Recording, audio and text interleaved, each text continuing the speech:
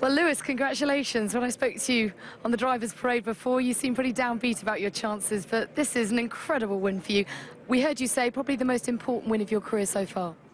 Yeah, I really. Winning is just the greatest, of course. And um, you know, I had a been on the phone to my mum this weekend, who's been incredibly supportive, and my dad's been calling me. Been talking to my dad a lot the last uh, the last week, who's just been so supportive and really, uh, you know, just trying to keep my spirits up.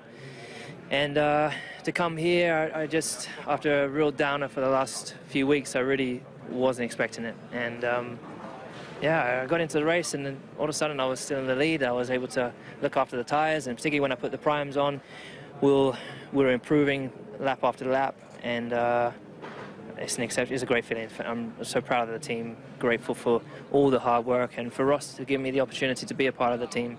And um, I feel like the thought in my mind through the whole race was uh, someone that was really special to me, and I want to dedicate it to her. And that lady being Nicole? So I, I think one of the reasons that the fans love you so much is that you do wear your heart on your sleeve and you do show your emotions. Did you feel that perhaps that would impact your race? Because you said your parents had to keep your spirits up today. Uh, yeah, I mean, it's, it's, it's been uh, the toughest couple of months in my life. And um, so, yeah, coming into the race, they're just concerned for me, so they just wanted to really try and uplift lift my spirits, trying to help me keep my focus on. And, and it, uh, clearly, it's not affecting my driving. I've been driving great, very happy with how I've been qualifying for the last couple of races, and uh, but it just doesn't feel the same. Uh, nowadays, you know, a couple of years ago we were here together, and I think I won, so uh, I have great memories. But I'm really happy, as I said, I could be here with this team uh, I really hope moving forward that these tyres continue to work for us. If they work at this, this track, which is one of the toughest circuits temperature-wise, geez, we might have a good shot at, uh, at winning more.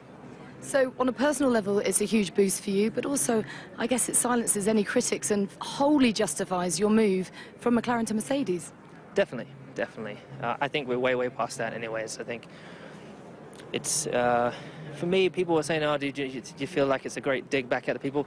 For me, it's just cool. You know, I felt fully in my heart that I made the right choice, and when I made the choice, um, you know, it was difficult. It was very, very tough, and particularly being able to tell Martin and and Ron. But for me, it was just the right right thing for me to do for my heart, for my for just place, just my, my whole being. You know, I just feel great in this team. The atmosphere is fantastic. They're working so hard. The car's improving constantly, and uh, you know, I'm here to to win. I'm here to win, and we've just got the first one from my side of the garage, and I hope there's many more to come. Well done, and on the championship.